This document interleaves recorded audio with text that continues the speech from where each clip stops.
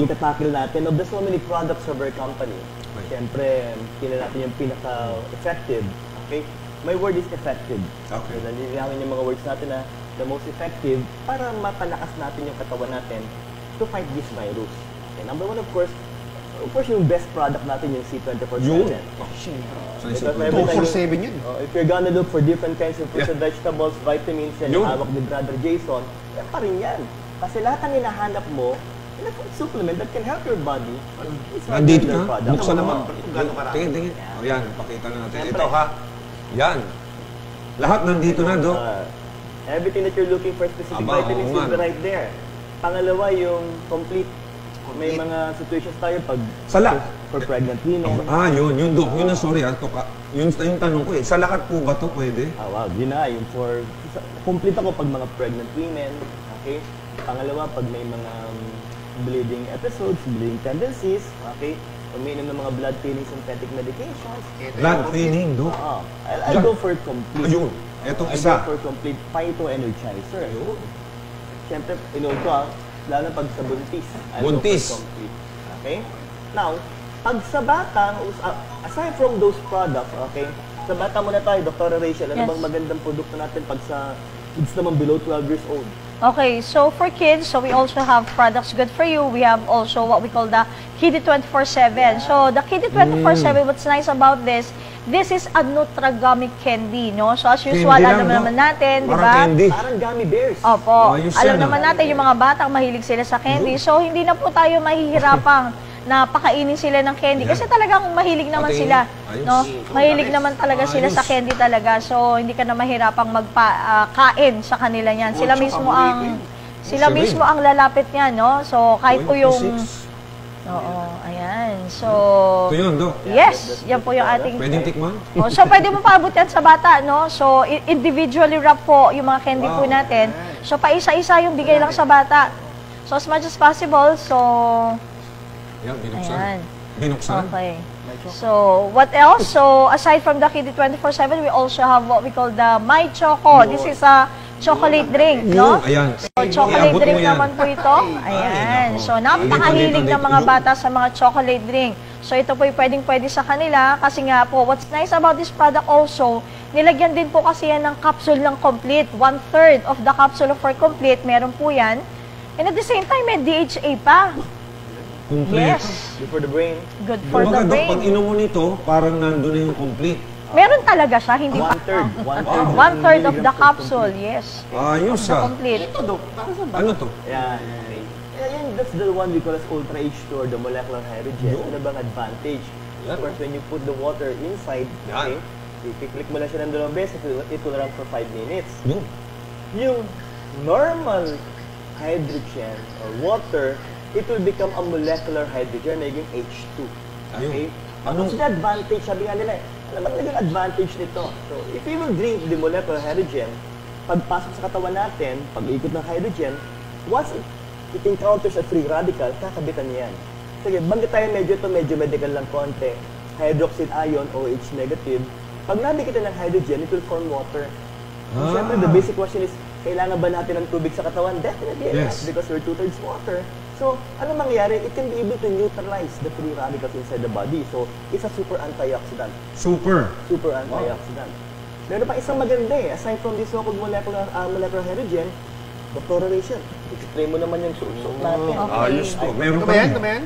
Yes. So, we Eto. also have a product what we call the Eye Protect 24/7. Yun. So, ano po ba ang meron dito? So, it it comes it comes with the necklace and of course, ah, meron po tayong tinatawag na pocket kung saan ito po ay nilalagay dito sa loob ng kwintas natin, no?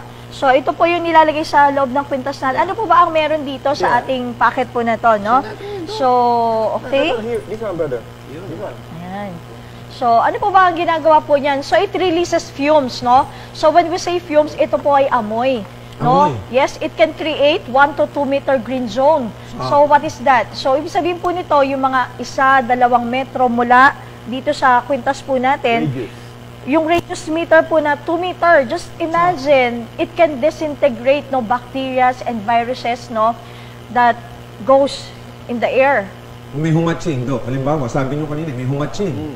Sa studies na ginawa na nila on the past, okay, kung may humacheng, Okay. okay, tapos pumasok sa green zone, Yun. it will disintegrate. Kasi maybe you will be asking, ano, ano yung green zone protection na sinabi ni Dr. Rachel? Well, it contains chlorine dioxide. Okay, Chlorine dioxide. And marami ng studies ginawa on the past, yung tinatawag nilang chlorine dioxide wet test.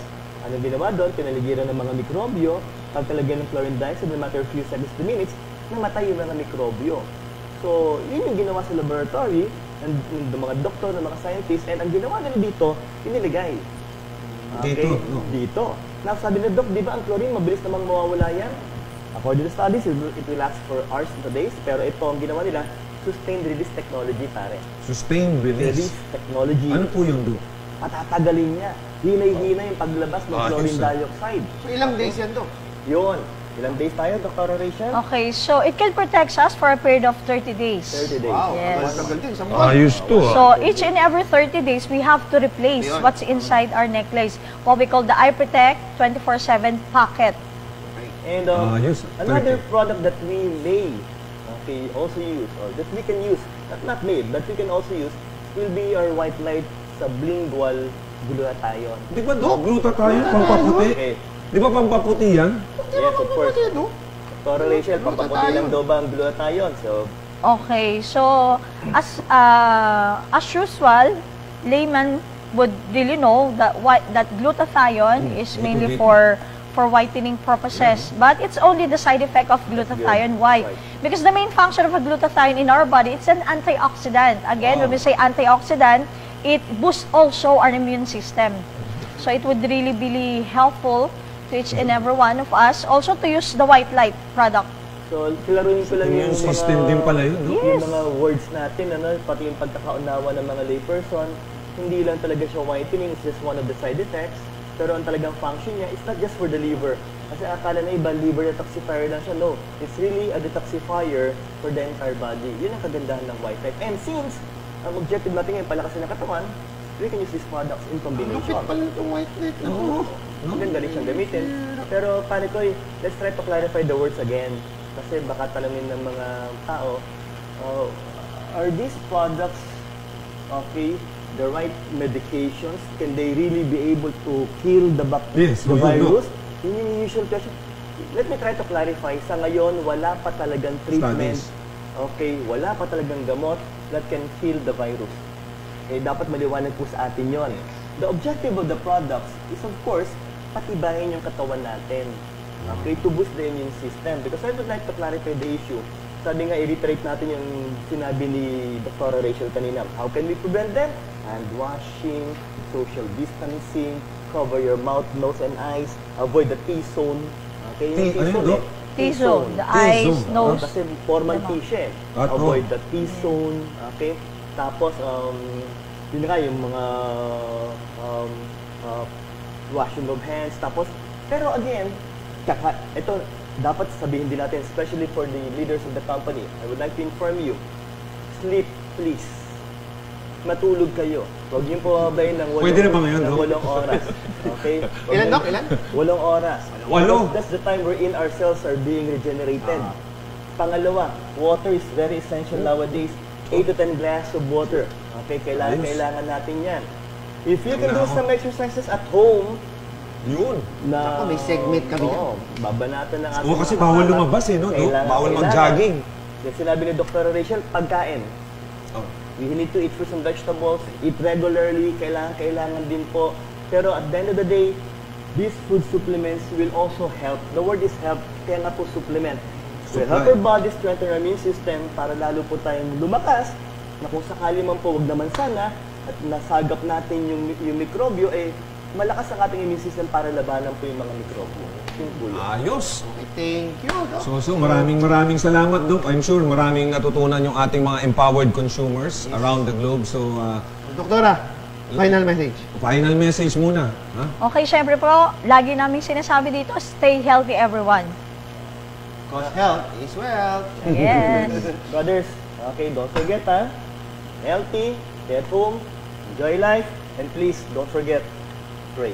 Kailangan, kailangan natin yan. Amen. Tsaka s- stand by for uh, our next uh, segment. Susunod yun no? sa mga darating na araw. Okay? God bless everyone. Kung nasan man kayo, be healthy, be protected. Easy God bless you. time, Easy lang. Easy.